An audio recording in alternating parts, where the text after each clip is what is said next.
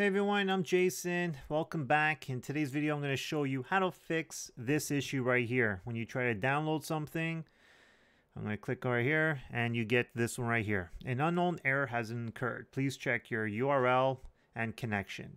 So I'm going to show you how to fix this. Let's get to it. Okay, so we're going to do is I'm going to hit close. We're going to hit the home button. First thing we want to do is we're going to head over to the gear, applications,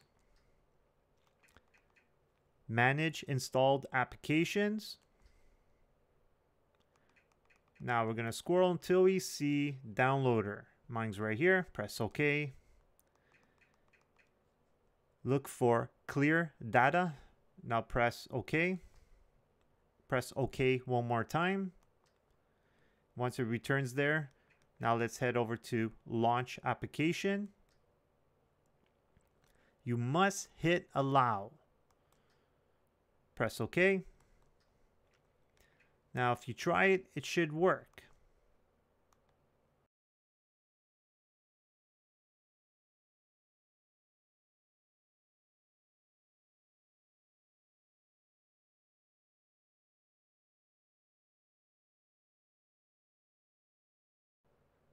Click on it and let's see what happens now. There you go. It starts downloading. So this is option one. Option two.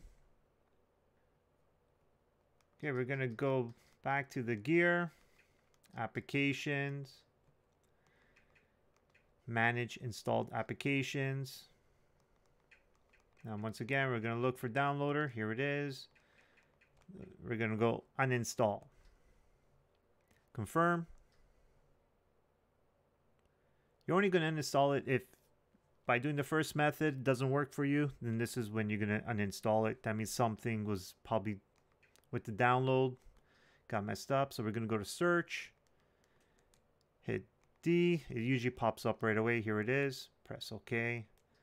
OK again. One more time. Press OK. I'm going to let it do its thing.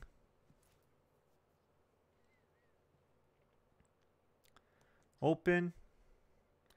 Once again, you must allow. Press OK again. We're going to hit the home button. We're going to head back to the gear. We're going to go to My Fire Stick. Developer Options. Install unknown apps.